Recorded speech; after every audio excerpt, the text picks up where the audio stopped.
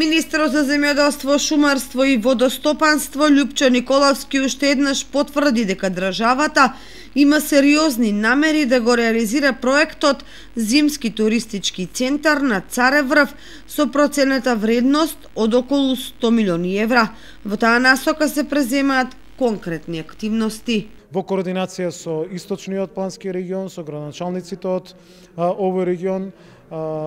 ја презентиравме физибилити студијата, која што е веќе готова, за изградба на ски центар на Царев Врв.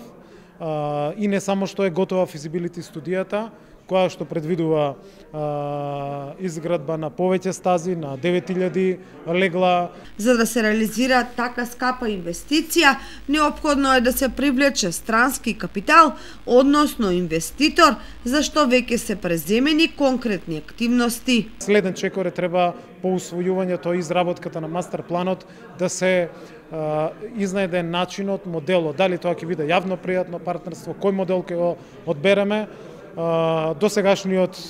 премиер Заев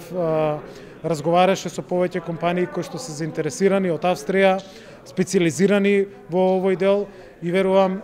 дека овој проект кој што е долгорочен